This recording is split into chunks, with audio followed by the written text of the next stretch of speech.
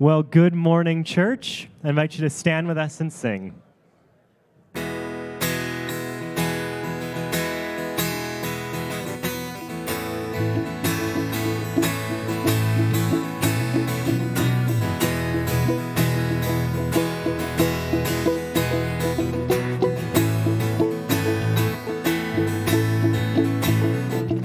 We worship the God who was.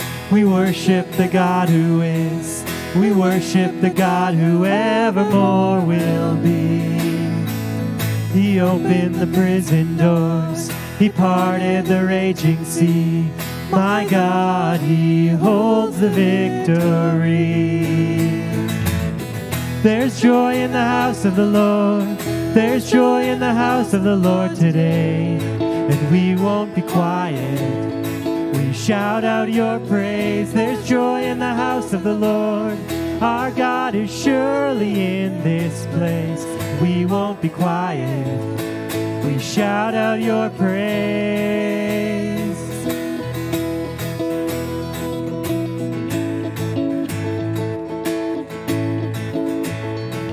We sing to the God who heals. We sing to the God who saves. We sing to the God who always makes a way. Cause he hung up on that cross, then he rose up from that grave. My God, still rolling stones away. There's joy in the house of the Lord. There's joy in the house of the Lord today. And we won't be quiet.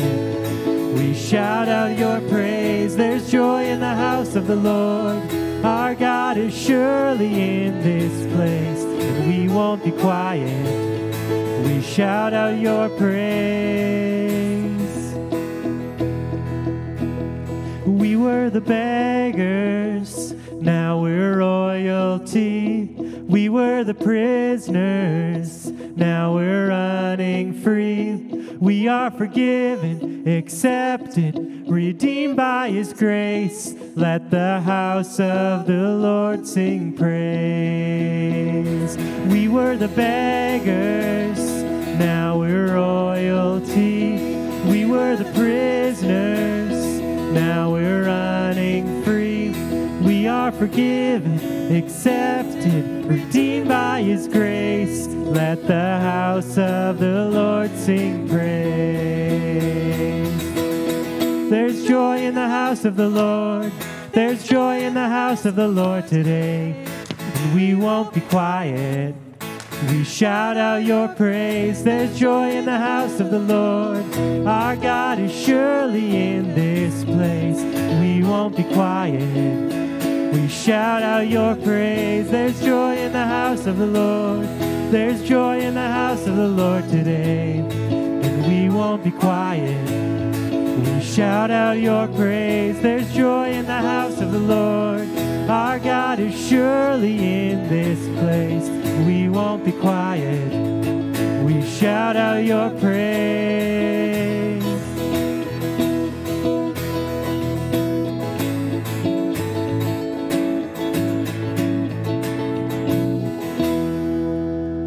Good morning, church. As we gather to worship, why don't you take a moment to greet some people around you?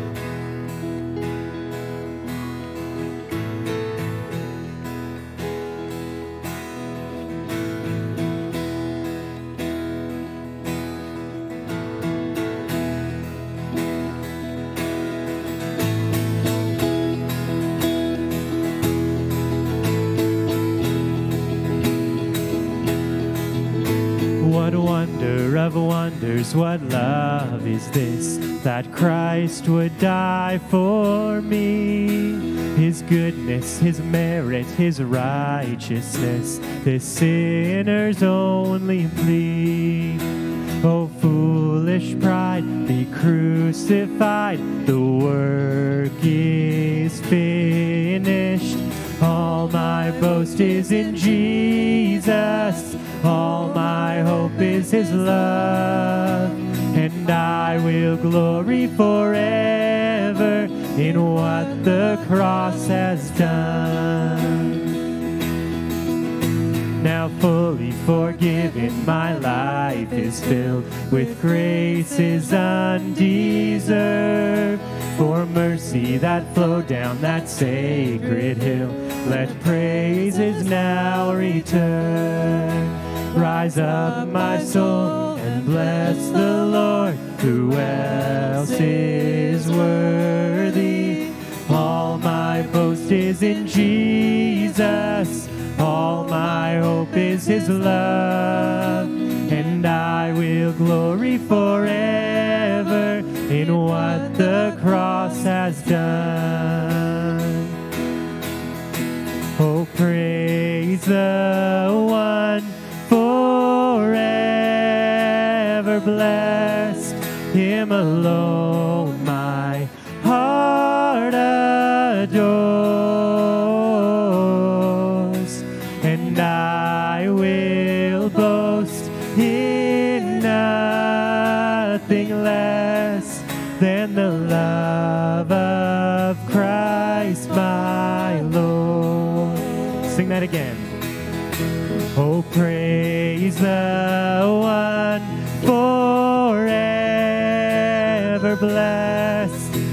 him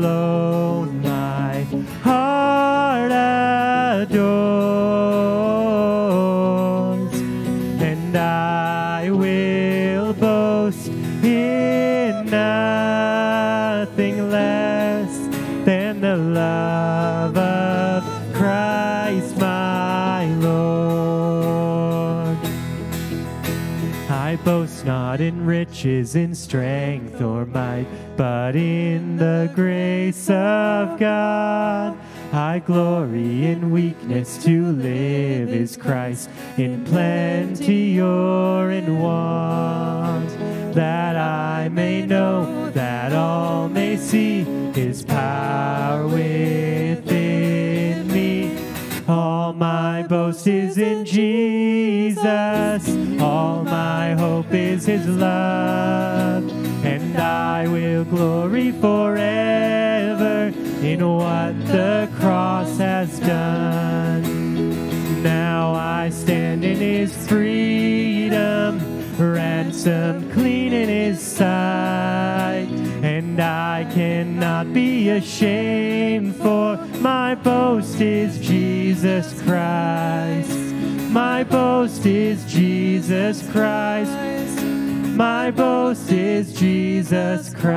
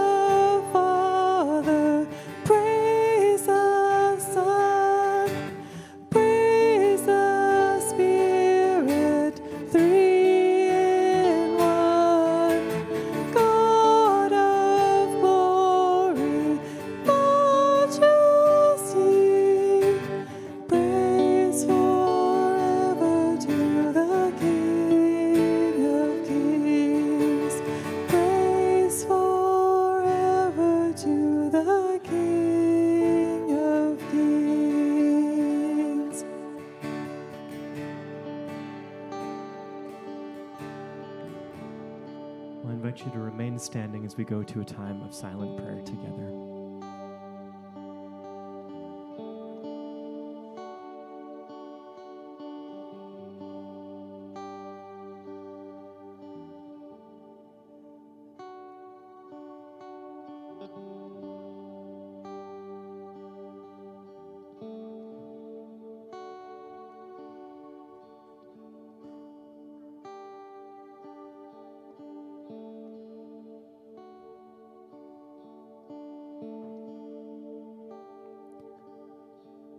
Well, Father, we thank you for this gift that you have given us this morning.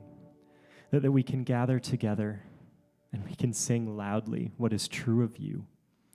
That, that we can be reminded ourselves, but that we can also remind one another of what you have done for us, of the gifts that you have given us in Christ Jesus. That, that you have supplied for us in such a way that the only thing that we can boast in is nothing that we have done ourselves but instead in the greatness of our Savior and what He has done.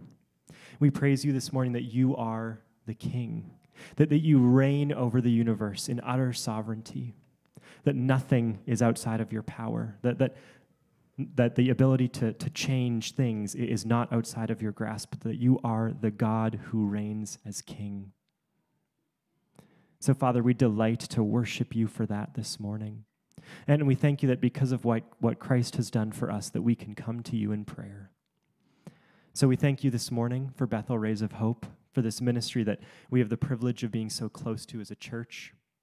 We thank you for the ways in which you have been faithful to them, that you have met their needs for so many years now as they have um, sought to, to take kids in in Kenya to, um, to feed them, to clothe them, to educate them, and to teach them about Christ. So, Father, as we pray for them as our mission partner of the month, we just ask that you would continue to meet their needs, that as they seek to build this school now, that you would provide the funds. Um, we pray as well for wisdom for their board here in Canada as well as for the workers in Kenya. Father, we think as well this morning of those who are part of our body but can't join us because of health or mobility problems.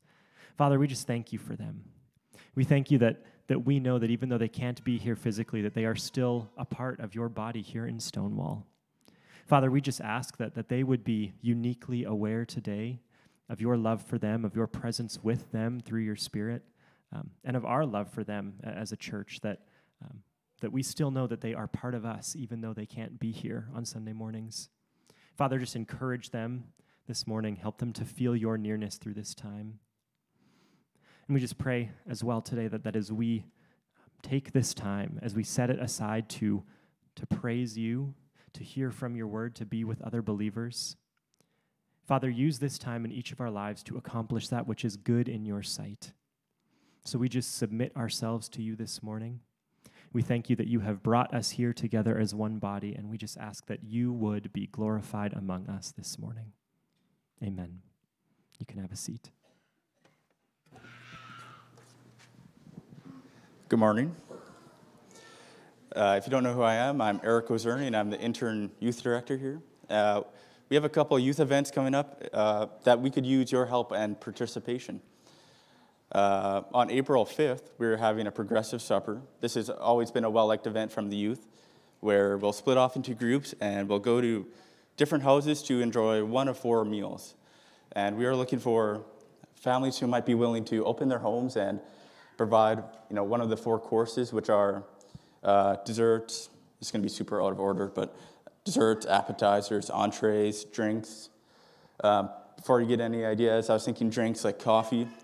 Um, but yeah, so if you like talking to youth and you like connecting with them, this is a great opportunity to just get to know the youth of the church. Um, you know, there's always been a group sitting over there, and some of them are pretty cool. Uh, all of them are pretty cool, but yeah, it's a great time to get to know them, and it's a great time for them to get to know you and build connections that's outside of their youth.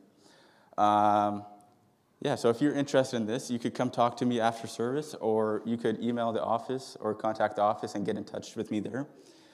Um, another opportunity would be on April 26th to 28th. We're going to uh, Caronport, Saskatchewan to go to Youthquake. Uh, this has always been a really well liked event. Um, if you don't know what Youthquake is, it's a it's hard to summarize it in a short sentence, but there's just, it's an all weekend event. It just feels like an all weekend worship night. It's, there's great sessions, great sermons. Again, not to say that Rusty sermons aren't top tier. Um, but yeah, they have some of the best sermons I've ever heard, some great sessions, great worship, and you get to meet new people. You're surrounded by, you know, a couple thousand of uh, other youth who just love the Lord, and it's just a great time.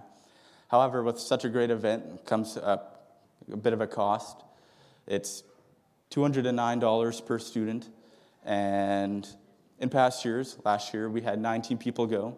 This year we have 34, um, which is, yeah, pretty big jump. And we don't want cost to be a factor to not allow someone to go. So to help bring down the cost, we're going to be doing some fundraising. Um, we're going to be doing a bake sale. And those of you who know me, and if you've ever eaten my baking, you would not eat it, let alone buy it.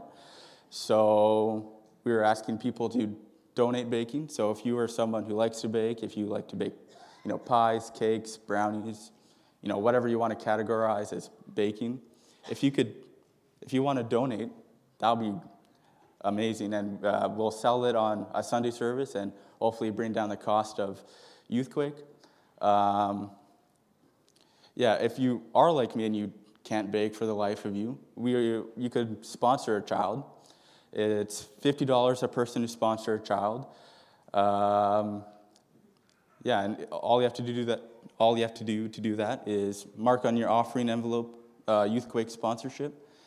Um, yeah, and if you want to help out in another way, um, if you just want to donate, you could just yeah mark down Youthquake sponsorship or yeah, uh, be greatly appreciated. Thank you.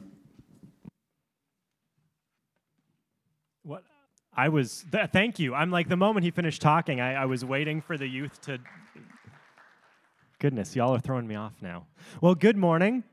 We're so glad that you could be here today to, to worship with us. If this is your first Sunday with us, we're so glad you're here. We'd invite you just after the service to head out to the little kiosk by our front doors that you, you would have seen. We call that our Welcome Center, and there will be someone there who has a gift that they would love to give you as a thank you for being with us today. There's a few things in the life of our church that we want you to be aware of. The first of which is coming up um, in just a few hours, back here at the church tonight at 6 p.m. And so, like we've said a number of times now, our plan this year is to gather once a month for prayer as a church. Um, we're not trying to reinvent the wheel. We're not really trying to do anything particularly special. We're just seeking to, to gather and to bring before the Lord the things that, that we really think are of ultimate importance.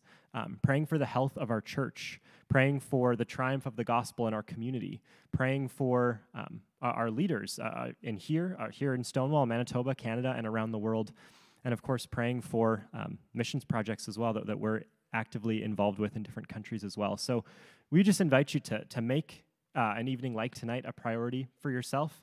So tonight at 6 p.m., we'll be gathering back here just to pray together as a church, and we'd love to have you here for that. We also have a, a, few things coming up over the next couple of weeks. If you are um, newer to this church or a newer believer, that, that could be uh, of benefit to you. The first of which is coming up next Sunday we will be having a baptism class during our second service at 1045, just down the, the classroom wing here in this building. So, for those of you who are maybe newer Christians, or you've been a Christian for a while, but you have not yet been baptized, this would be um, a really good next step. The Lord Jesus has called all of those who follow him to be baptized. And so, um, during second service next week is an opportunity for you to hear more about how we understand baptism, a chance for you to maybe ask any questions that you might have. And then we are planning on April 14th, that's a Sunday, to have baptisms during the service that morning. So if this is something on your radar that, that you've been knowing that, that you should do, then we invite you to come to this class and be preparing yourself for April 14th for that baptism Sunday. We also have coming up in just a few weeks a New Life orientation class. So, whether you're, you're new to the life of the church and maybe interested in becoming a member here uh, at New Life, or if you've been here for a while and have never taken one of these and want to maybe have a better understanding of the things that we value as a church, or if you've been a member for 30 years and you just want a little bit of a refresher course on what we're passionate about, the things that we believe, and why we do the things that we do. Uh, this class would be a great opportunity for you to come and hear about those things. We invite you to register for it online. You do that through our website or through our app as well. Uh, there will be childcare provided if you need it, as well as coffee and Timbits, which I will need. So, love to have you there as well. Um, finally, there is no slide for this, but we have a bit of a desperate need for more ushers on Sunday mornings.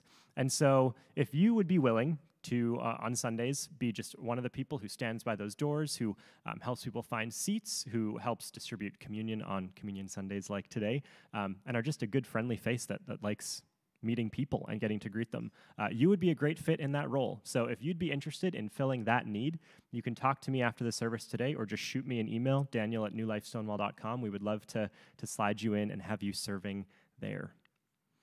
Well, children, you can head off to your classes now for Sunday school. And I just invite the rest of you to stand as we continue singing.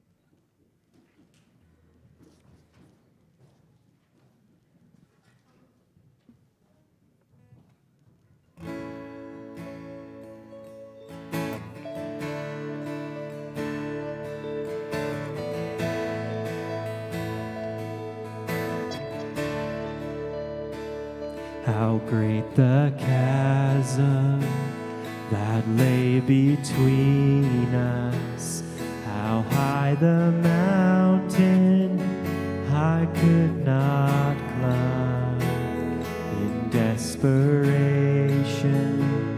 I turned to heaven and spoke your name into darkness, your loving kindness tore through the shadows of my soul. The work is finished, the end is written. Jesus Christ, my living.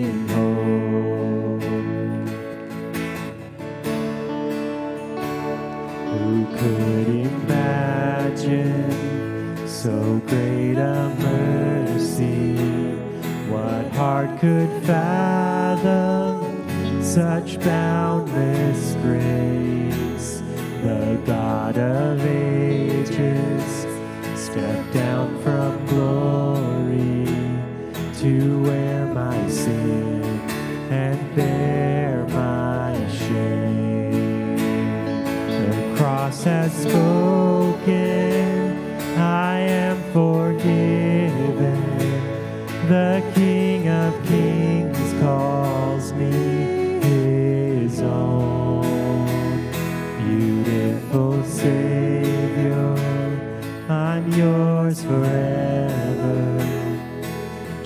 Jesus Christ.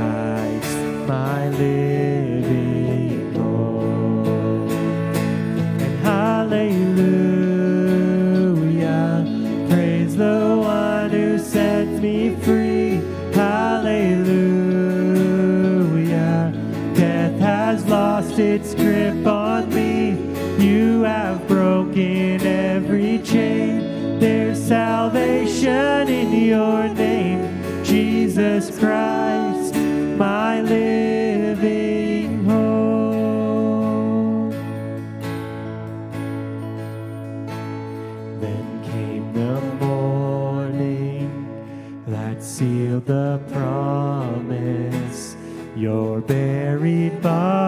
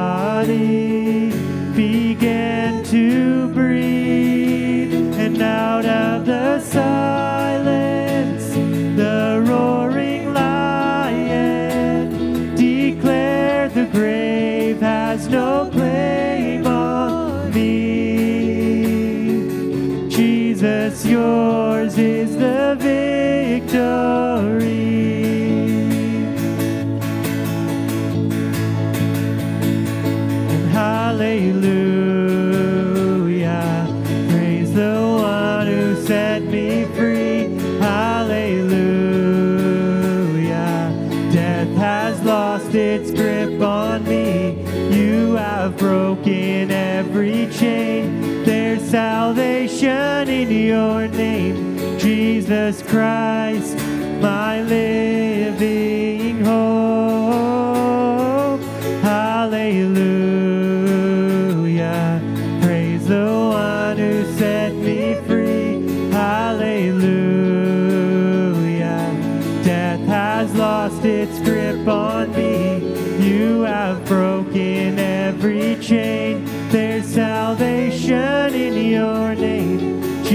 Jesus Christ, my living.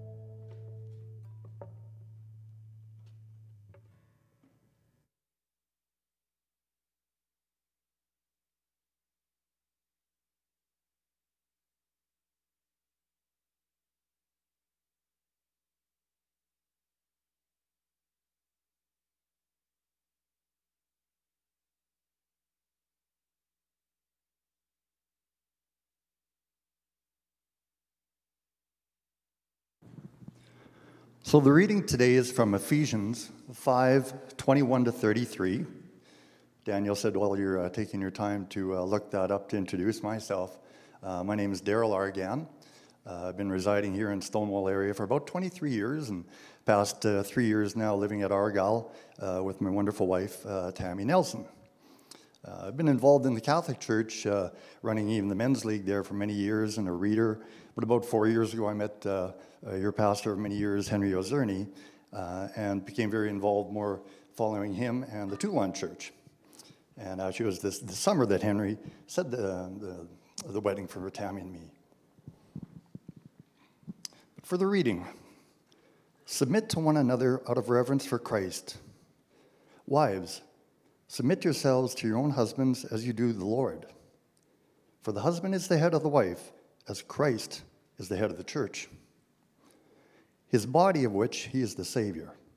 Now, as the church submits to Christ, so also wives should submit to their husbands in everything. Husbands, love your wives, just as Christ loved the church and gave himself up for her, to make her holy, cleansing her by washing with water through the, through the word, and to present her to himself as a radiant church without stain or wrinkle or any other blemish, but holy and blameless. In the same way, Husbands ought to love their wives as their own bodies. He who loves his wife loves himself. After all, no one ever hated their own body, but they feed and care for their body, just as Christ does the church, for we are members of his body. For this reason, a man will leave his father and mother and be united to his wife, and the two will become one flesh. This is a profound mystery, but I am talking about Christ and the church. However, each one of you also must love his wife as he loves himself. And the, the wife must respect her husband. Yeah. Thanks. Thanks, Daryl. Well read. Kind of gave you a doozy for a first scripture reading, hey? In this church. Memorable. Yep. Good morning, church. Glad you're here this morning uh, just to enjoy God together and worship, to hear from God together. And uh, it really is a privilege to be able to open His Word and to know Him and to learn from Him. That's my prayer for us this morning. And if you're new here and we haven't met, my name is Rusty. Really glad that you're here. Uh, we're, we're, continuing in a series that we started at the beginning of the year through the first 11 chapters of Genesis. Now, maybe you've been around church long enough to, to know that Genesis is the first book of the Bible. The word Genesis literally means beginnings or origins. And uh, maybe you've, uh, you've missed the beginning of conversations or missed the beginning of movies and uh, are aware of how, be, how important the beginning of any story is to really understand the story. And that's no different with the Bible, which is the story of God's relationship with us in the world He has made. And the beginning then is so critically important to understand, to build a foundation that's going to help us um, understand and answer all those big questions Who is God? Who are we? How do we relate?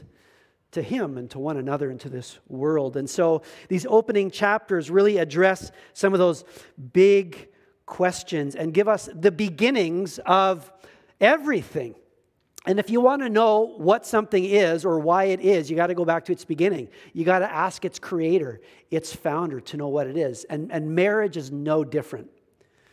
So at the beginning of the Bible, we get the beginning of marriage. We find that marriage is an institution made by God for his purposes, for good purposes. And so if you were here last week, we began to explore God's design for marriage. And I promised you that there was going to be a second sermon on marriage, and some of you came back. So thank you. Thank you. Um, we'll see if at the end of this you're glad that you came, but um, you know, I, think that we are, uh, I hope, here to hear from God. And that's why we're here, and that's why we're not at home watching the news or reading self help books. Uh, it's because we want more than our wisdom, we want more than the world's wisdom. We don't think that's enough. We want God's wisdom. And we want God's wisdom for marriage, for those of us who are married or might be married or know people who are. Um, and so I had in mind to, to preach kind of this, this second message on marriage. Really, it came from a question that was submitted a number of weeks ago. I had already kind of had in mind to, to, to address this this morning, but then I saw this question and it kind of confirmed yeah, let's talk about this. Maybe you don't know there's a question box at the Resource Center where you can, there's little slips of paper. If you have any question about anything in the first 11 chapters of Genesis that confusing or you just want to know more about, I'd love to hear that question from you so that as we go through this, you know, we're actually bringing the Bible into your situations to address your questions. And so somebody um, left this question. They said, It is said that women are subservient to men from this verse. And the verse they're referencing is in Genesis chapter 2. Uh, you know, there, there is, well, I think it's probably that verse we looked at a bit last week where God looked at the man. He had not yet made the woman. He said, It is not good for the man to be alone. I will make a helper suitable for him. And so God made a woman. It is said that men are subservient to, men, uh, to women, are subservient to men from this verse. And that the reason for that is A, that the man was created first, and B, that the man was asked to name the animals. Question how could God have asked the woman to name the animals along with Adam if she wasn't created yet? And also, if the order you are created matters, then using that theology, then the woman is lesser than and subservient to animals as well as man. Please explain. okay, good question. I don't know if you're someone who has read that part of the Bible or maybe other passages in the scriptures that speak about husbands and wives, and, and this type of question has come to you. Essentially, the question this person is asking is Has God designed in marriage a distinction for the way that husbands and wives are to relate to one another? Is there a unique role for husbands and wives in the context of marriage? That's essentially this question. And if there is, what is it and what does that actually mean? That's a great question. It's a really important question, especially to those of us who find ourselves in marriage or who will find ourselves in marriage. And so I'm leaving tomorrow. I'm flying on a plane to Phoenix. And I'm gone for a week. And so when I was building the sermon series, I tried to find some way of making sure this sermon fell on next Sunday when Howard had to preach it. But I, I just couldn't quite work that out. So uh, I thought, well, okay, I'm, I'm going to do this. And in fact, you know, I'm happy to do this because um, I've been here seven and a half years. I don't recall ever preaching kind of directly on this question. I've, I've, maybe alluded to this, made reference to it here or there, but I've never really spoken to it directly. And there's probably three reasons why I, I might not have or might not want to. And, and the first is it's controversial. Anytime we know, especially in this day and age, anytime you're talking about gender in any way, it is controversial, right? And I, I'm not somebody, I don't know if you believe this or not, I don't like controversial things. I'm not drawn to controversy. I shy away from it. I'm conciliatory in my nature, in my approach. I don't like to make waves. Um, and I realize anything that speaks to gender is controversial, not just in the world, but, but in some ways in the church. And so, that second reason why I, I might want to avoid that is just it can be divisive. It can be divisive because there are Christians that, that and, and, and you, you likely know this, that have strongly held convictions on both sides of this question. They maybe have different answers to this question that they, um, they would believe arise from the scriptures. And I really care about the unity of the church. I really care about the unity of this church. It matters a lot to me, it matters a lot to God. But unity is not uniformity, right? There are things that we need to be uniform about, we have to hold in common to be one church. Those things are in our statement of faith. If you haven't read them, you can go to the website, newlifestonewall.com, and you can actually read our statement of faith. And if you want to belong to this church, those are the things that we feel are, are, are central enough uh, as Christians that we need to hold them in common to be one church. And then there are other things, secondary things, that people in this room are going to have a variety of opinions or perspectives on. And that's okay. There is room. There is room for different understandings and uh, on, on these secondary things that do not need to hinder our unity. And I know fine Christians in this church and elsewhere that have a different perspective on this question might arrive at a different answer.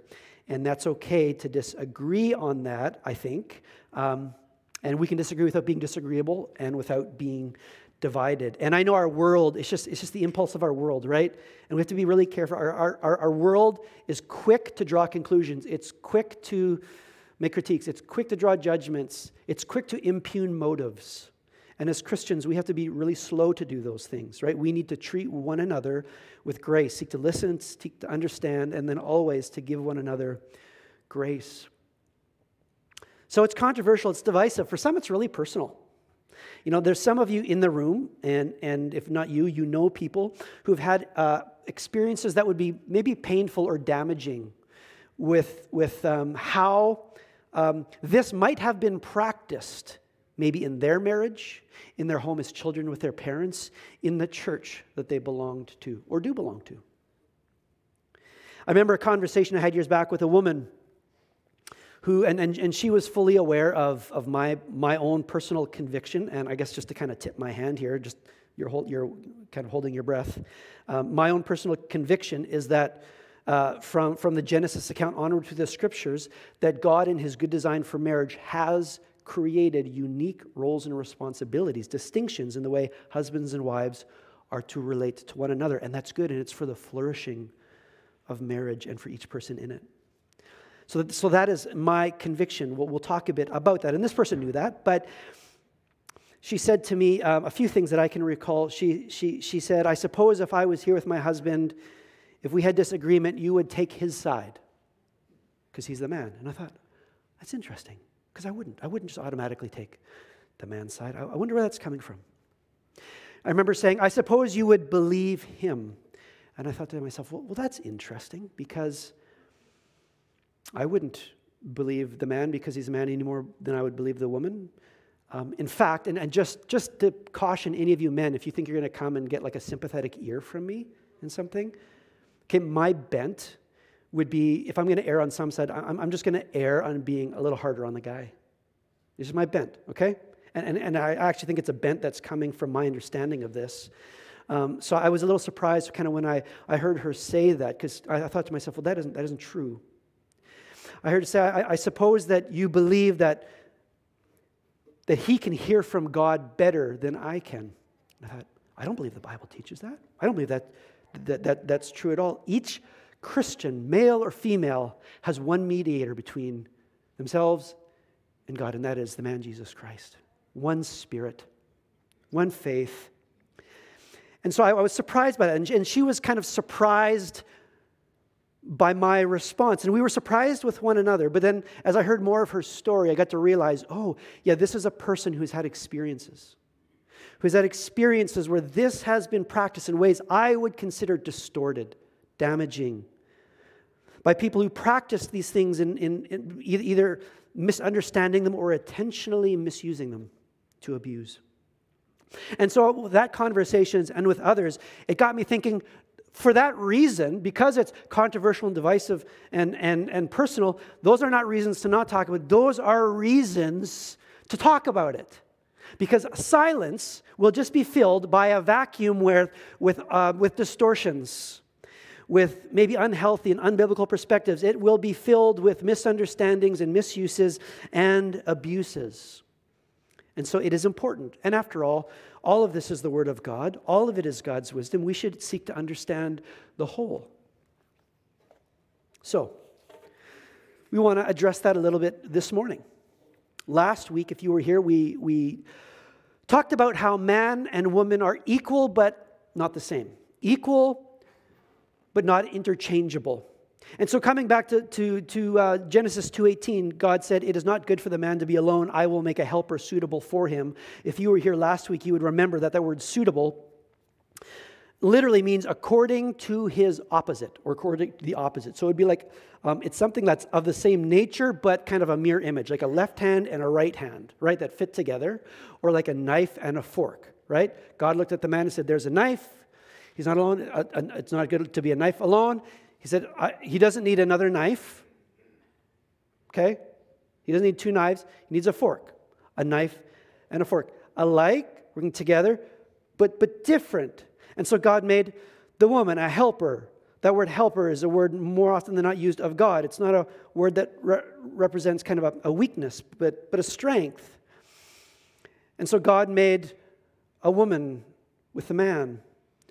And you see here in um, the very opening words where God makes the human beings At the end of Genesis chapter 1 and verse 27 and 28, it says, God created mankind in his own image. In the image of God, he created them, male and female. He created them, and God blessed them, and he said to them, Be fruitful and increase in number, and fill the earth and subdue it, and rule over the fish in the sea, and the birds in the sky, and over every living creature that moves on the ground. So when God made human beings, he made no human being generically.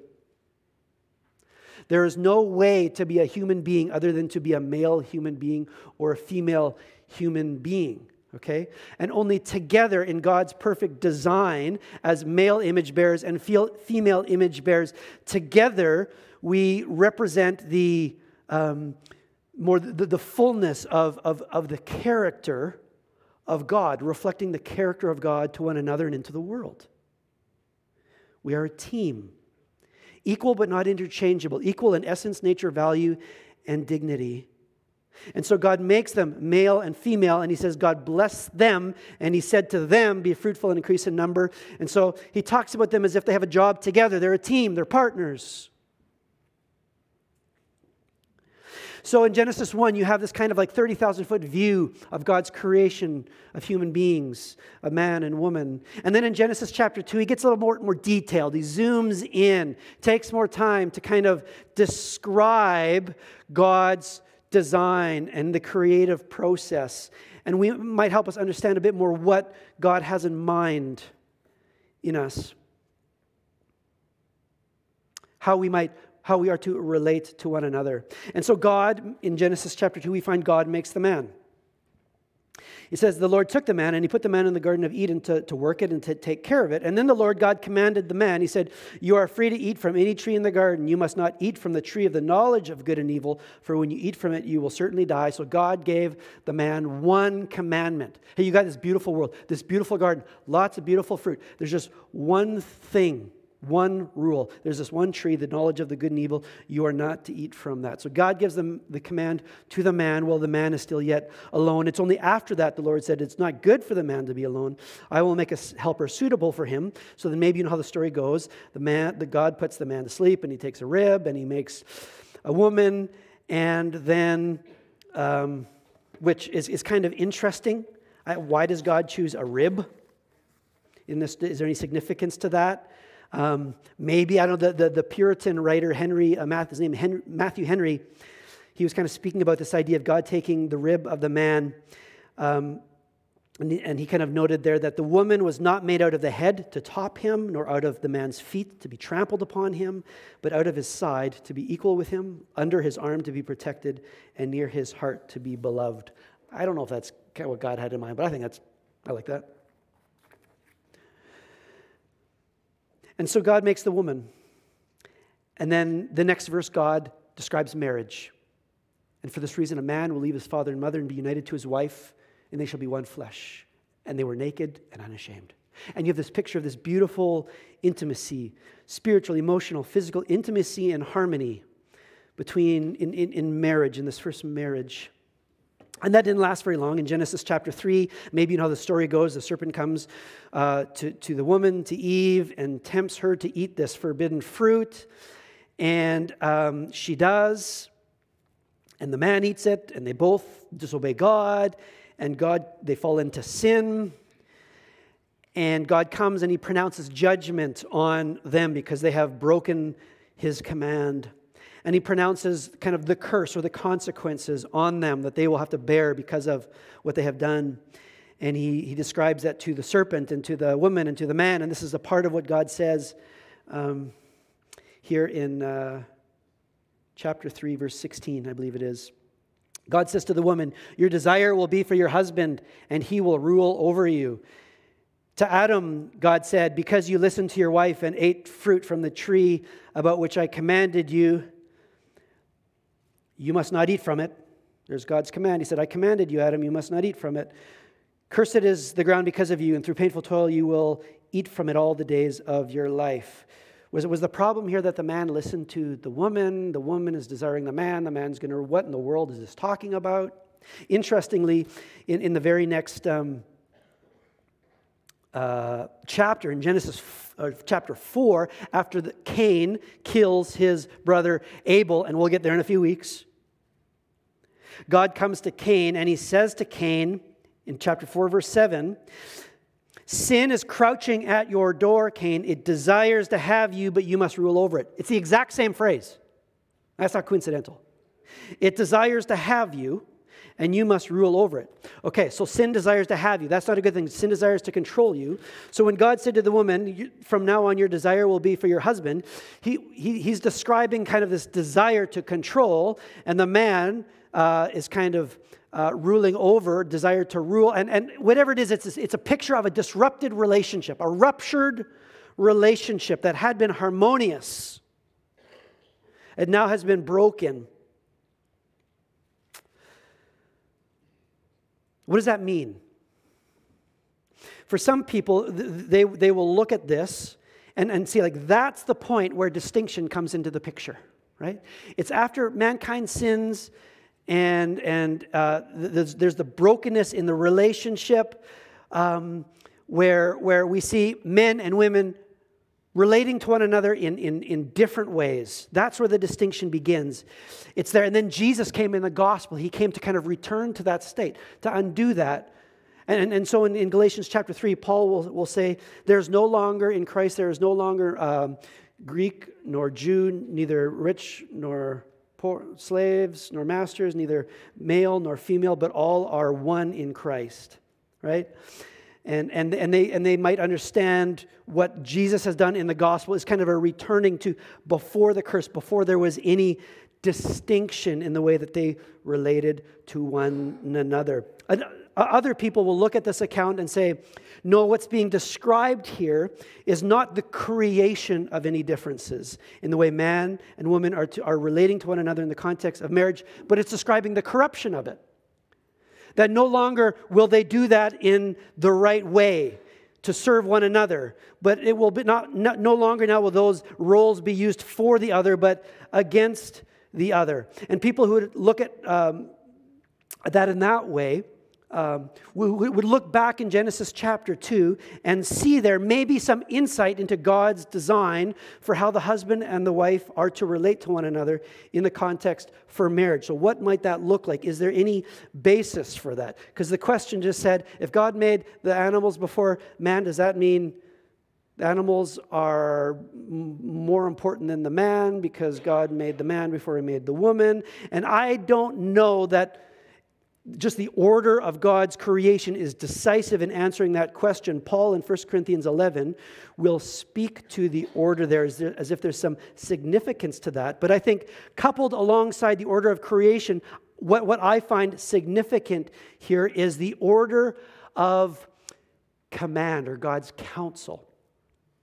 And so, like I said a few minutes ago, God makes the man, and then it's after he's made the man, before God makes the woman, that he gives to man the one command.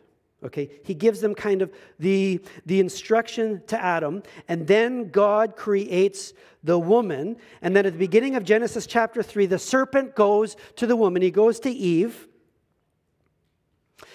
and said, Did God really say you, you don't need to eat from any, any tree? And, and she knew better. She knew the command. She said, No, we can, we can eat from anyone, it's just this one. And then Satan continues to try to tempt her, to deceive her, and ultimately she took the apple. It's, or what, apple? Does it say it's apple? Why do we say apple? This fruit of this tree, the Bible says she saw that it was desirable for gaining wisdom. There's that word again, desirable, right? Possessing some, possessing, instead of trusting God's wisdom, possessing wisdom for myself. Myself being able to determine the difference between right and wrong instead of leaving, trusting God's judgment in that which is right and wrong. And so she takes and she eats. And where is Adam? Well, you find here. It says that when the woman took the fruit and ate of it, she also gave some to her husband who was with her, and he ate it. So, so where, where is Adam? Adam is standing right beside her. This is the picture. The serpent comes, there's the man and the woman working together because that's what they're supposed to do. God said, hey, work together. And he comes, and, and the serpent comes to Eve and, and tries to deceive, to tempt her. And ultimately, she does, and she eats, and she gives to her husband who's right beside her, and he does the same. And I think that's very interesting that there is Adam right beside her. And then after they fall into sin, God comes looking for them to give an accounting. And, and it says, The Lord God called to the man, Where are you? And Adam answered, I heard you in the garden, and I was afraid because I was naked, so I hid. And then God said, Who told you you were naked? Have you eaten from the tree that I commanded you not to eat? The man said, The woman you put here with me, she gave me some fruit and I ate it. It was her fault. Here's the first blame game. It, wasn't me, it was her. And then God comes to her. It wasn't me, it was a serpent right? But I find it interesting that God comes to Adam and kind of knocks on his door first to give an accounting, and he will to the woman, but he comes to Adam first. And I, you, you see this order here, which I do not think is insignificant. God creates the man, gives man the, the, the instruction, creates the woman, man shares that with the woman. The, the serpent comes to the woman. The man is passive. He does nothing. He does not intervene. God comes and asks the man, What happened?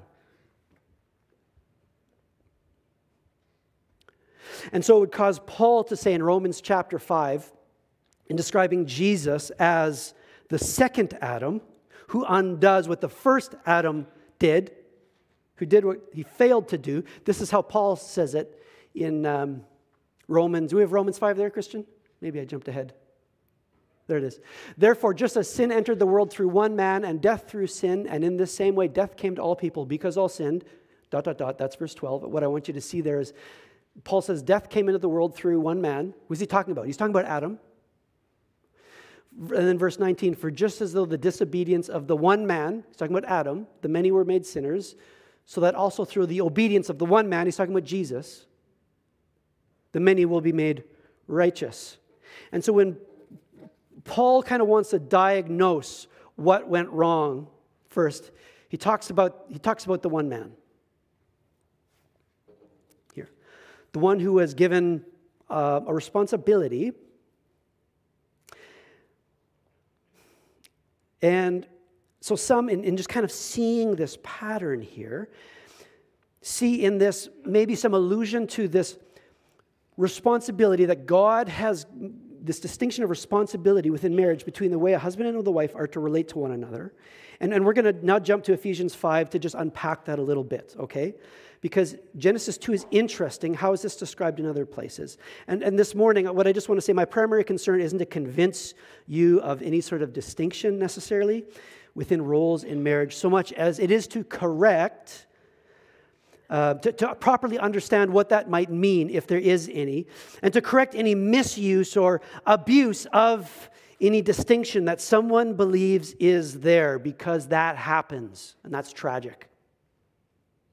So, if you don't still have your Bibles at Ephesians chapter 5, I want you to turn there because that's where we're going to stay for the rest of our time here. And we looked at this a little bit last week where we talked about how this really depicts the most beautiful expression, this picture of marriage here, because Paul is telling us that marriage isn't just about a man and a woman loving one another.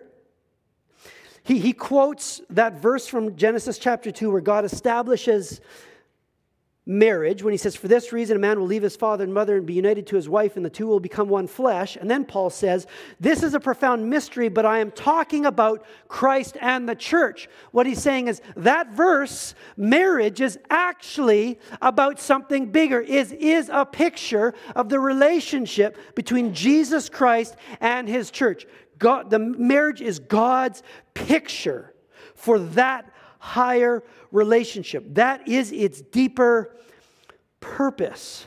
And so we touched on that a little bit last week, and Paul is going to show us now that the way the husband and the wife relate to one another in the context of the marriage is a dramatization of this picture. A parable of, of Christ and, and in relationship with his church.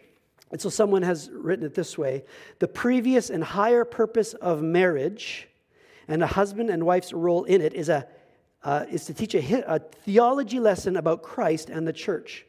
I say the previous purpose because God didn't design marriage and then after that designed to, to, to send Christ to save a people and then just realize that he could use the first um, marriage to teach us about the second, Christ in the church. Rather, God decided to send his son into the world to save a people. Then he designed marriage to picture this previous and higher truth. He wanted a common grace sign embedded in the DNA of creation itself, so that people from every tribe, tongue, and language could see it. Hmm.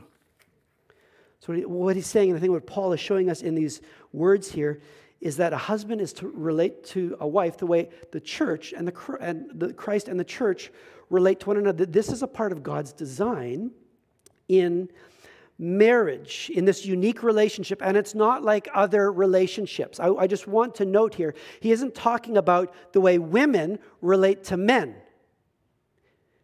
outside of he, he's talking because his picture is, is the marriage picture he's not he's not he will never talk about women submitting to men and men leading or having authority over women he, the bible never talks in those terms because his picture to proclaim this, to show this to the world, is marriage. It's not the workplace, it's not the social setting, it's not those other places. It's in marriage. And so he will talk about the husband and the wife, and this is why he says in verse 22 Husbands, to your wives, submit to your own husbands, not to that person's husband. Right? This is not wives submit or women and men. This is this unique relationship. And I think it's really important to note that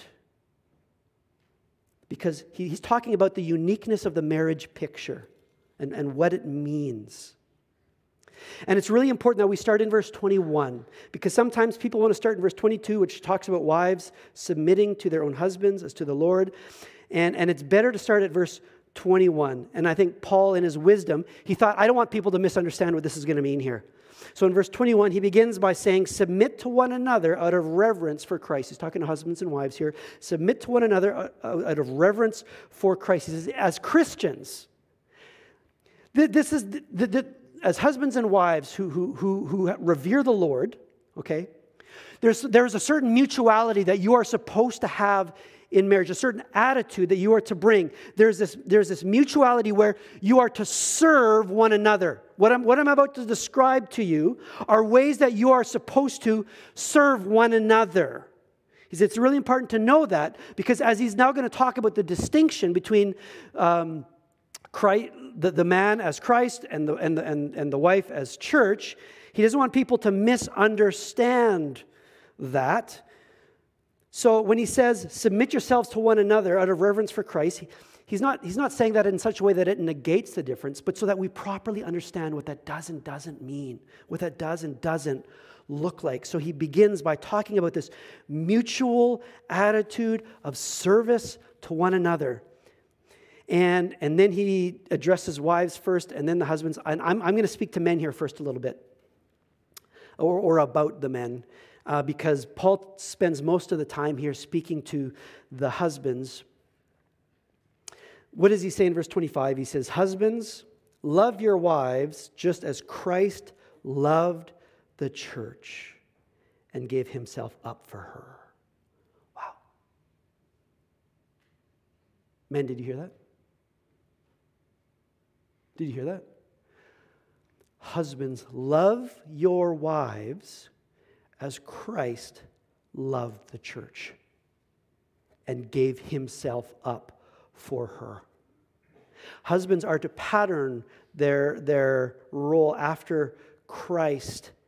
And, and what was Christ like? Christ, um, it talks about in a few verses later how Christ feeds and cares for his body. And here's like the shepherding care. It's almost like it's a pastoral role. It's like he feeds, he's about protecting and nourishing and, and, and, and strengthening those, your Christ in his church, and the husband to his wife.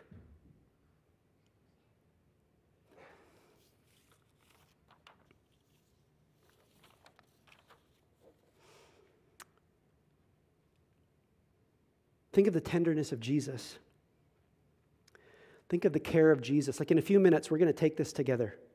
Like, think of that. Jesus went up on the cross. Why? Jesus, we really need you. Come, I'm desperate. I need help. Uh, right, if you promise to do this for me, I'll do that for you. It's like we were going our own way. God looked down for us in love, and He sent His Son. And His Son came, and He went to that cross and his love preceded our love for him. Isn't that, isn't that what John said in 1 John? We love because he we love because he first loved us. Whose love was first?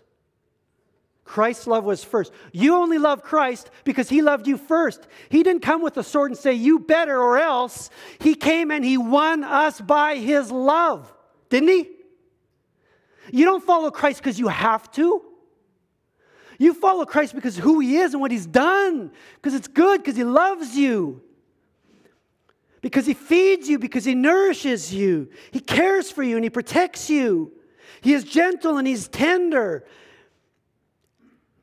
He wooed you with his love. Husbands, love your wives as Christ loved the church. I think what Paul is saying here is husbands, you are uniquely called by God in playing the role of Christ to be the loving initiator of the well being of your home. That's, that's kind of the best way that I can frame it. You are called to be the loving initiator of the well being of your marriage, your home, because Jesus took the initiative. He took the initiative, right? And husbands, I, I really believe that we are called to ensure, it's our job to ensure that our wife and our family have what they need. Not that she doesn't have a role. We'll come to that, of course. We're a team. We work together. But there's a unique sense in which the husband is the initiator, just as Christ was and is. And, and sometimes as men, we just we tend to think of that in physical terms, maybe bringing home the bacon or, you know, I'm the guy with the bigger muscles, so I open the pickle jars or.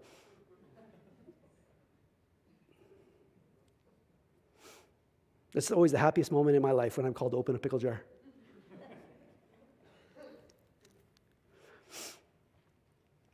or when there's that sound outside the bedroom at night and, and you're the one that gets up right? I mean, we, we, we tend to think of it in kind of like that physical protection and strength, but, and, and I think that's a part of it, but, but it's more than that. I think Paul has in mind here a certain sort of spiritual initiative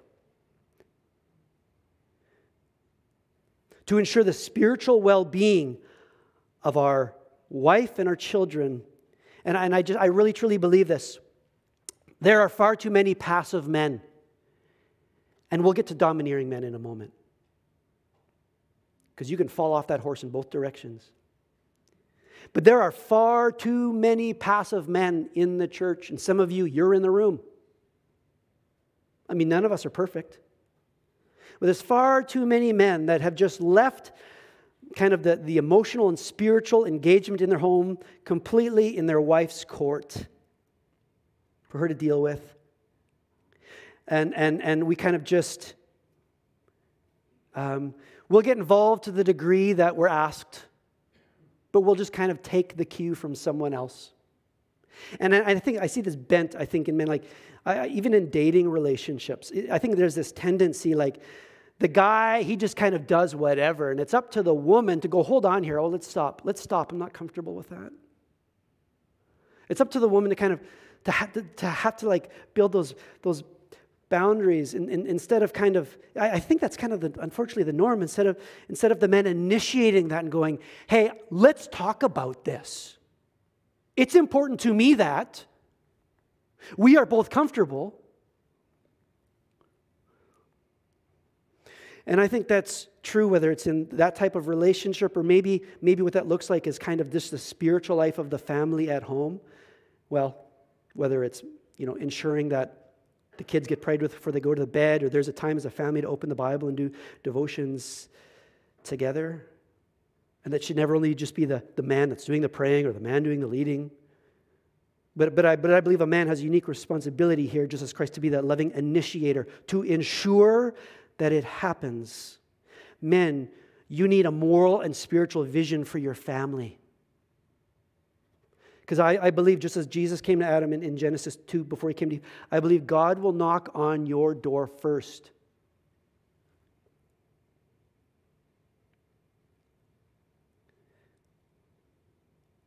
And I know there's many men, they feel inadequate in that. Because many men, they maybe have wives that, that are, they, they are more spiritually mature. They are more wise. Uh, spiritually and, and, and knowledgeable and all of that. And it might be easy just to say, well, that's not my thing, that's her thing. And, and, and you would be a fool, we'll get there, you would be a fool not to learn from and utilize your wife. But that also doesn't mean that you're off the hook. It is your responsibility to kind of grow and to ensure that you, your family's needs are met emotionally, spiritually, physically. You are the loving initiator of the well being of your home. And I think there's something uniquely powerful about that when a man is a loving initiator of his home. I think there's a cascading effect of blessing. And so there just there, there are far too many passive men.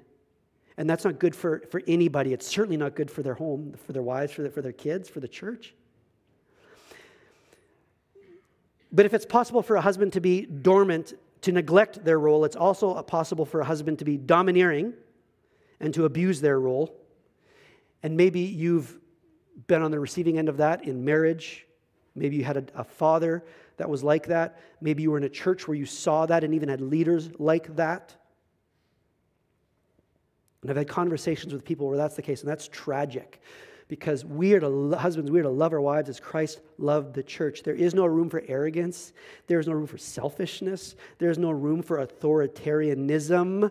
It doesn't mean men call the shots.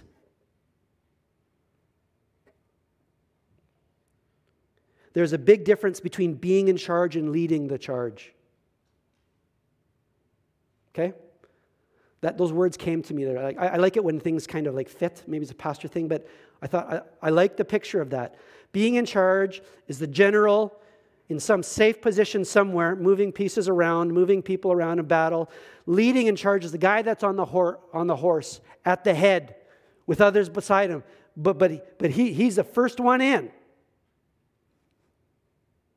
There's a difference between being in charge and leading the charge. So, so know this because this is where men who, and who, who, have, who have believed in this distinction and have wanted to grab onto that have, I think, often, whether intentionally or unintentionally, misunderstood and misused that to suppress their women and to harm their wives. So let me hear this. There is no place for unilateral decisions by, by a man. Men are not called to dictate, but to initiate. Jesus is the initiator. And what did he initiate? Well, to provide for his church so that they might become a radiant church. What is radiant? Glowing, strong, beautiful, developed, reaching their potential. How, how many guys think it just means I call the shots, you do what I say, I'm threatened by your strength?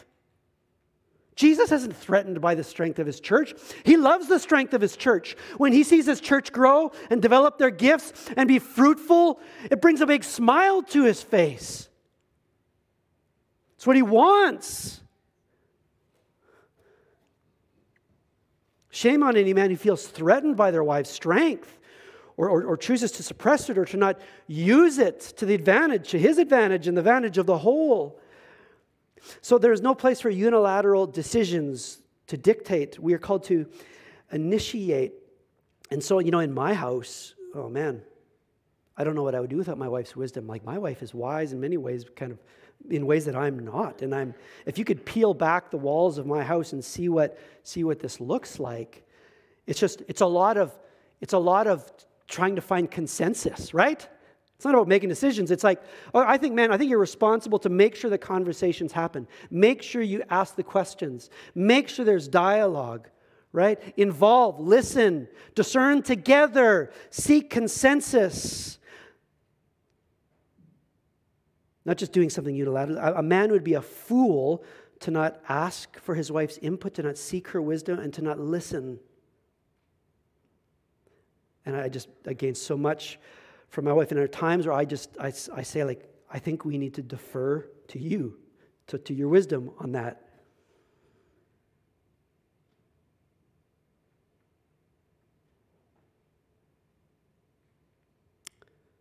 If this is properly practiced, I guess is what I'm saying, uh, it, it's almost hardly noticeable. I think some people have a picture of a guy who's walking two feet in front of his wife Or maybe on a couch in a setting where she's kind of meek and mild and he does the talking for the two of them. Shh, hun, shh, shh, shh. I'll do the talking. Oh, hun, no, it wasn't that way. It was this way. That's not the picture Paul gives us here. That's not, that's not the loving initiation of Jesus Christ.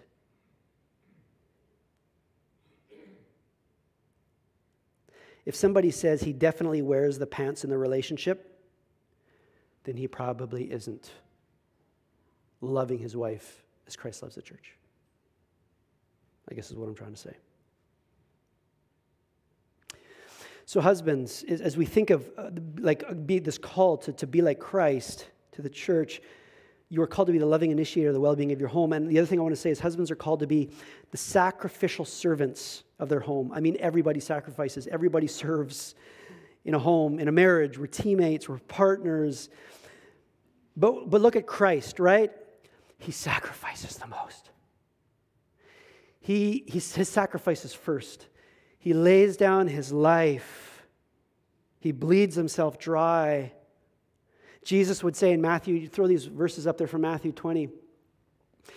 When he's talking to his disciples, Jesus called them together and he said, You know that the rulers of the Gentiles lord it over them and their high officials exercise authority over them. Not so with you. Instead, whoever wants to become great among you must be your servant, and whoever wants to be first must be your slave, just as the Son of Man did not come to be served, but to serve and to give his life as a ransom for many.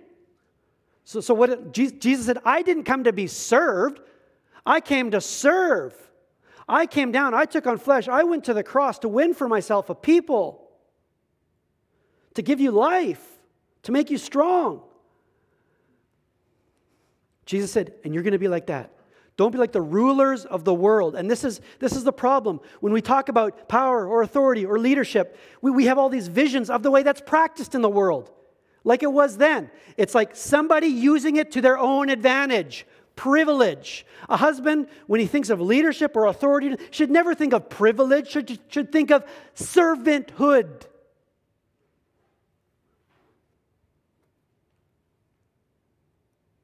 Responsibility. So Jesus, Jesus doesn't negate leadership. He doesn't, he doesn't negate authority. He just turns it upside down. He radically transforms it. He says, those that were at the top now, they're ruled over us, they're at the bottom, lifting up. And so Jesus displayed that before he went to the cross by getting on his knees in front of the disciples at the Last Supper, which we'll um, remember in a moment and he washed the feet of his disciples. And they said, No, Lord, we should be washed. He's like, You have to know how it works in the kingdom of God.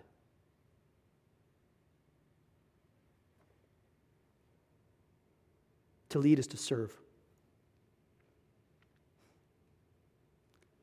So, to some, to the people of the world, and maybe to those, those men that think that being head, lead, whatever you want to call it, to, to have a unique role as initiator means to make sure that I get what I want. I'm going to go golfing when I want. I'm going to do what I want. As if if there's only one piece left, he ensures he gets that piece of cake. Whereas, whereas what Jesus is showing us here is that, you know, husbands, if there's enough for everyone, you're one piece short, you ensure everyone else gets a piece of cake and you go without. That's what that looks like. Husbands are called to be sacrificial servants, and nobody should sacrifice more for the good of his home than the husband. And tragically, it's not always, but it's very often the other way around. If you read those studies about the amount of hours worked, like most women these days do have jobs outside the home, right? So my, my and, and I just want to say when we're talking about roles in the Bible, it, it doesn't this doesn't talk at all about who's supposed to cook, who's supposed to clean, childcare, um, work. Like that that that does that's not even a factor. That, that's that's not what this is about. Okay? But, but, you know, my wife started to work outside the home a couple of years ago, and now she had this big thing, time and energy. And we had to figure out what did that look like to kind of share the burden together in the home. And if you read stats, you will find that women do many, many more hours of work than the men in their homes on average. Because many of them are working outside the home, and then they're cooking, and then they're cleaning, and maybe the one's putting the kids to the bed, and they're doing all of these things. Well, daddy's there watching TSN and looking at the newspaper. People, well, people don't look at newspapers anymore. Scrolling on the iPhone, right? What a tragic depiction. What a tragic reality. Husbands, you are called to be sacrificial servants. The Lord you represent gave up his life on the cross for his church. And that's what you're displaying in your love for your wife. Um, 1 Peter 3 7 says this Husbands, in the same way, be considerate as you live with your wives and treat them with respect as the weaker partner and as heirs with you to the gracious gift of life. Interesting things as heirs. What he's saying is, God has given you, God has given your wife all the same things he's given you in every way. You have no advantage with God, right? You're both heirs of the same gift from God. Um, and, and true respect, she's the weaker partner, and, and it, that's almost certainly re- references uh, physical strength.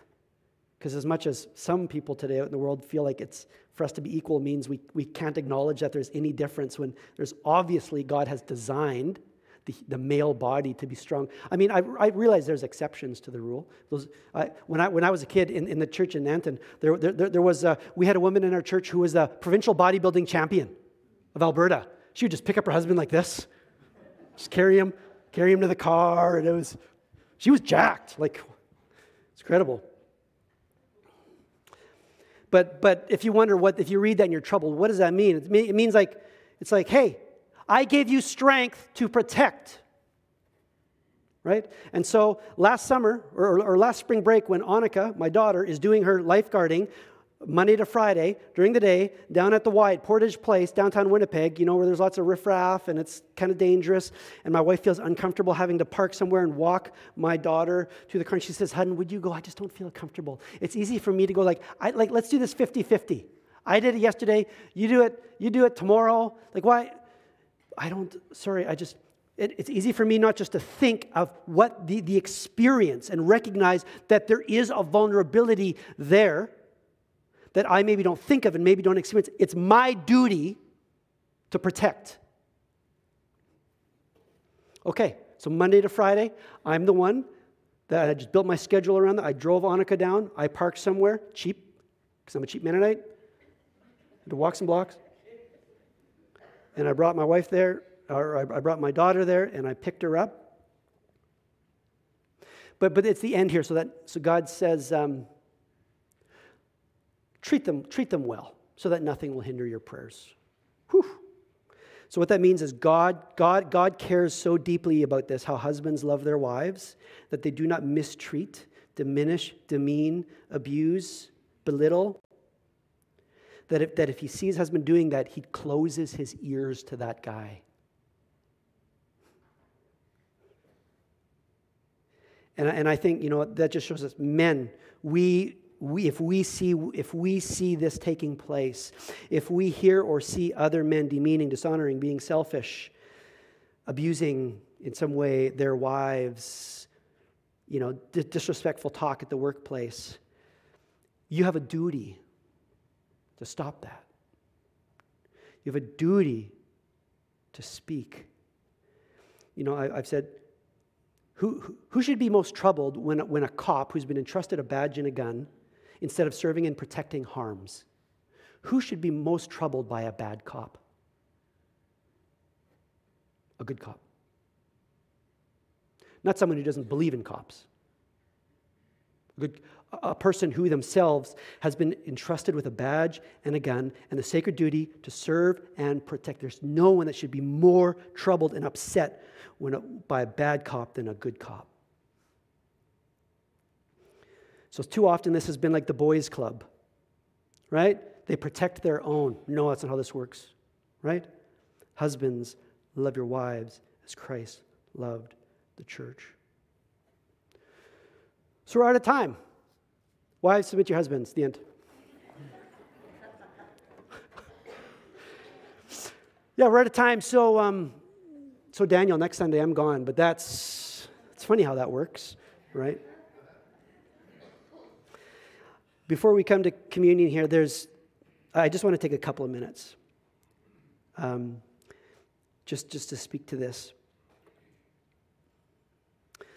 Men in, in the role of marriage, the, the, the way, the way that they, they relate, they, they are to, uh, they are like a copy of Christ, and the church is supposed to, or the, the bride is supposed to, the woman, the wife is supposed to represent the church and submit to her husband the way that the church submits to Christ. So, what does it mean to submit? Right? Submit to your husband as you do to the Lord. Wives should submit to their husbands in everything. Well, obviously, if you think everything means what he says you have to do, you, you didn't read that right. Wives, submit to your husbands as to the Lord, which means this is a woman who's submitting herself to the Lord. The husband does not replace Jesus Christ, he is a copy of Christ. He does not replace Christ. So, where the husband departs from the leadership of Christ, she must submit to Christ. So, so what submitting doesn't mean is it doesn't mean you have to obey in everything because he just said, submit to the husband as you do to the Lord. The husband's leadership does not triumph or replace Jesus' lordship. A, a, wife does not have to submit to unbiblical counsel or commands. And hopefully, this, hopefully, I mean, if this is done well, this isn't, these are two people working together, and, there, and, there's, and, there's, and there's just, there's almost always just consensus.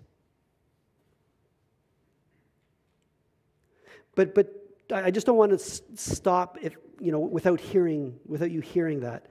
To submit doesn't mean that you have to obey in everything, and it doesn't mean that you have to stay in every situation.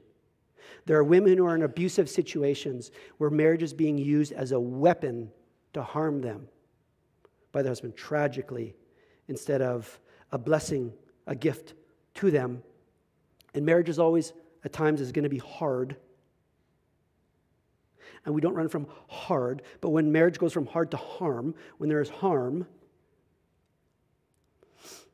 submitting doesn't mean staying in an abusive relationship. It means you need to speak up and you need to get help. And if you need to separate, then that's what you need to do. But you need to speak up. You don't have to stay in an abusive situation because the Bible says, wives, submit to your husbands. What it does mean just in, in a statement really is um, when he says, submit to your husbands in everything, we've already established that. Well, that doesn't literally mean he says that I got to do it because I submit to the Lord. It's talking about just like an attitude, a posture. If a husband's responsibility is to kind of lovingly initiate the well being of the home, the woman is, is um, is a participant in that, but is, but is ultimately kind of ha- has this posture of receiving that initiative and even encouraging the husband. It is, it, is, it is good and it is right and sometimes necessary for a wife to say, I need you to take more initiative.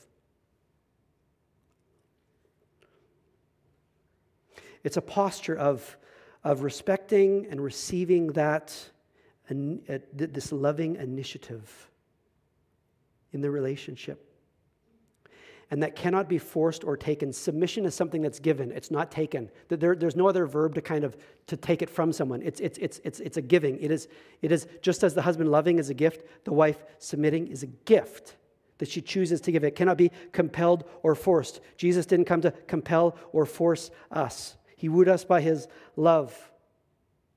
So for uh, you know, like a husband to force physical intimacy from his wife is called what it you know it's called rape right? And so for a husband to force or enforce compel um, submission is is wrong. It's it's abuse because it has to be freely given. It is an act of agency on behalf of the woman. It is not a negation of that. It is it is to be freely given freely given. It takes two to tango and that's all I'm going to say on that. May God, this is a glorious picture that He has given us. May God give us the ability to see the beauty and the glory in it. And may God give us the ability, wherever we find ourselves, uh, to play that role um, beautifully in such a way that it really shows the husband and the wife working together, submitting themselves to one another in those ways to portray the glory of the love of Christ for his church, the glory of the gospel. So let's come to this table. And I feel like this is a very kind of appropriate act after we've just heard that to come to this table where we receive the body and the bread, uh, the, the body of Christ and his blood shed for us. Um, so if you are help me, helping me serve at the table, you can come up here, and um, the worship team, you can come prepare to lead us as well. The Bible says, To all who believed in Jesus, to those who received him, to those who believed in his name, God gave the right to become his children. And this is, this is the beautiful truth that this table represents that Jesus has done it all. Through his body, he has done everything necessary to bring us into relationship with God, a relationship that we receive by faith. And so, as you take this church, this is just a way of, of acknowledging his lordship over us as our Lord, as our head, and a way of just kind of submitting ourselves again to his love, to his leadership in our life, to his care, to his protection. And so, as we take this together, as the, as the bread is being passed, um, just, just take a moment to take that bread, to look at it, just to, just to reflect on what that means as the body of Christ broken for you, his love for you, and then just in your heart um, to worship him and submit yourself to him again afresh. So, God, we thank you for your Son. We thank you that he came. He humbled himself. He took the form of a servant. He became obedient to death, even death on a cross, so that we might live. We worship you.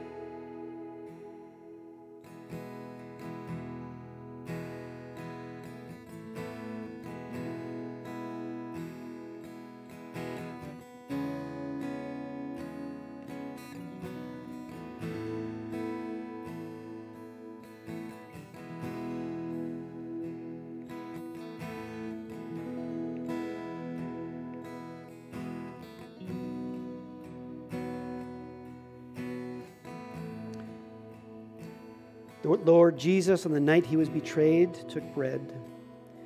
And when he had given thanks, he broke it and he said, This is my body, which is for you. Do this in remembrance of me. Let's eat together.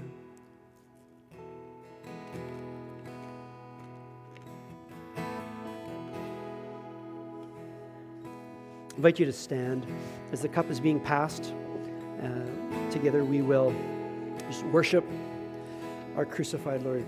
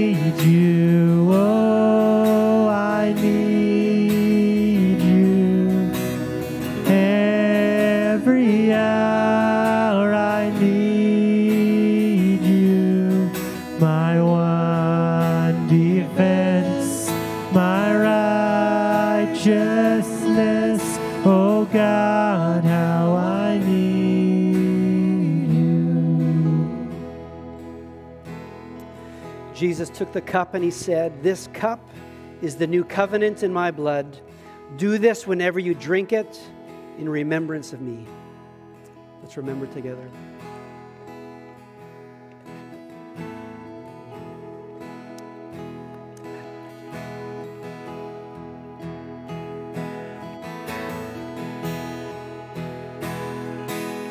So teach my song to rise to you. Temptation comes my way, and when I cannot stand, I'll fall on you. Jesus, you're my hope and stay.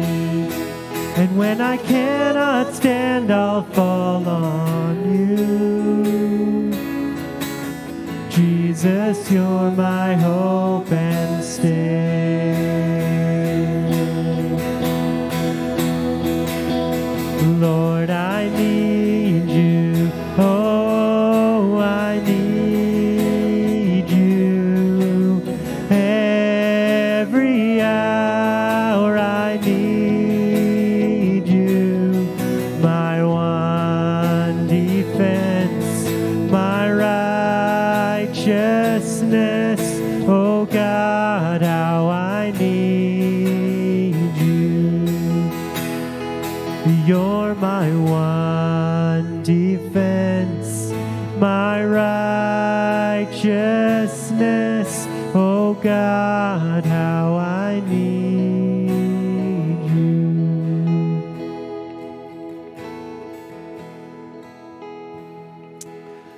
Lord is your shepherd.